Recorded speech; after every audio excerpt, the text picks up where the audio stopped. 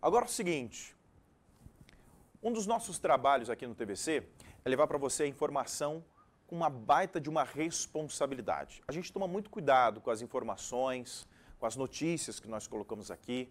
Nós checamos, rechecamos, temos fontes confiáveis, temos um time de jornalismo aqui muito grande, muito eficiente, muito aguerrido, para trazer aqui ao vivo para você no TVC agora informações coerentes, reais.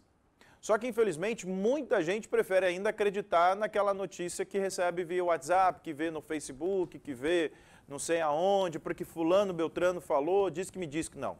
Isso não é notícia, isso é falatório. Isso é só fofoca às vezes. Infelizmente, a fake news durante a pandemia ganhou uma proporção imensa, disseminando informações falsas, inverdades pelo menos, deixando a população ainda mais confusa no que era para ser algo direcionado corretamente para que todo mundo tivesse a mesma informação e, obviamente, também tomasse os mesmos cuidados. Infelizmente, além de ter que conter a pandemia, tivemos que combater a desinformação muitas vezes também. E muitas vezes, quando você recebe essa informação via WhatsApp que seja e acaba repassando para frente, completamente mentirosa, você também contribui, se você faz isso, obviamente, você contribui para a desinformação e para prejudicar ainda mais todos os, os, combates e as medidas que estão sendo é, é, é, tomadas. As famosas fake news né, têm tomado conta de todos os lugares. Às vezes fala da ineficácia da vacina da Covid, tem notícia falsa que fala também de voltar ao lockdown, não tem informação sobre isso, pelo contrário, a gente está vendo aí um afrouxamento das medidas de proteção, justamente porque as medidas de segurança foram tomadas a tempo. Né? Mas ó, a maioria dos brasileiros já se ligou também que esse tipo de informação né, tem que ser apurada, tem que ser vinda através de um, um meio de comunicação com responsabilidade. E nós preparamos uma matéria justamente para falar sobre isso. E a minha querida Tati Simon vem agora trazendo informações reais, verdadeiras, coerentes, apuradas para você. Oito em cada dez brasileiros consideram a disseminação de notícias falsas um problema grave. Os campeões de proliferação de fake news são o Facebook e o WhatsApp. É o que revela a mais recente pesquisa do Instituto Especializado em Opinião Pública. Já recebeu alguma fake news que te deixou na dúvida? Com certeza, principalmente nos, nos grupos de, de WhatsApp, né? A gente costuma verificar bastante fake news e, e, causa bastante dúvida mesmo sobre a realidade da, da informação. Você já recebeu alguma fake news no seu WhatsApp e chegou até a acreditar, ficou na dúvida se pudesse ser verdade? Sim, já, a gente já recebeu já. É, portanto, mesmo agora, não sei se é verdade ou não, em São Paulo, né? Diz que vai adiar mais 10 dias. Se é verdade ou não é, não sabemos. Em uma busca bem rápida pelo portal RCN67, é possível encontrar dezenas de reportagens que a nossa equipe fez.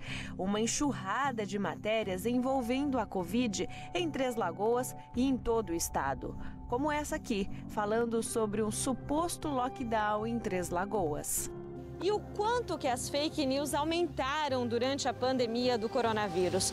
Quando o assunto é Covid-19, a boa notícia é que, segundo essa pesquisa, a Organização Mundial da Saúde, os médicos e as universidades foram citados pelos entrevistados como as fontes mais confiáveis de informação.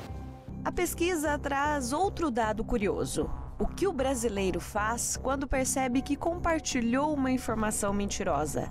Sete em cada dez dos entrevistados responderam que não avisaram a ninguém ou que avisaram que a notícia era falsa, mas sem enviar a informação correta.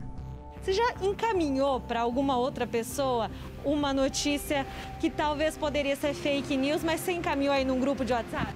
Não. É uma coisa que eu não eu tenho WhatsApp, Facebook, tudo, mas uma coisa que eu não compartilho tanto, porque é uma coisa que a gente não sabe se é verdade ou não. Talvez possa ser verdade, no mesmo tempo que não seja, talvez prejudique outra pessoa lá na frente, né? Então eu não, não compartilho essas coisas.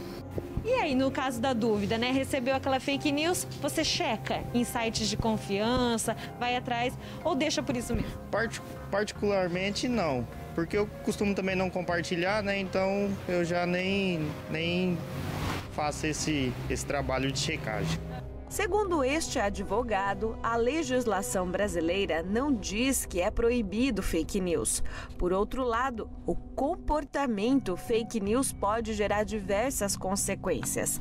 Ou seja, quem espalha uma fake news pode ser responsabilizado por crime contra a honra, que são aqueles de injúria, difamação e calúnia temos que prestar muita atenção no que nós estamos compartilhando e se aquela notícia realmente é verdadeira. Investigar a fonte, investigar se é um site confiável, se a pessoa que postou é uma pessoa confiável, porque quem postar fake news pode vir a ser responsabilizado criminalmente.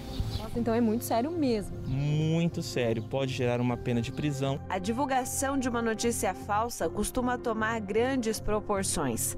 No entanto, o combate à desinformação deve ser um compromisso não apenas de responsabilidade da imprensa, mas sim de todos os cidadãos. Então, antes de compartilhar uma informação que recebeu no WhatsApp, é sempre bom conferir em sites confiáveis se a informação é de fato fato ou se de fato é fake.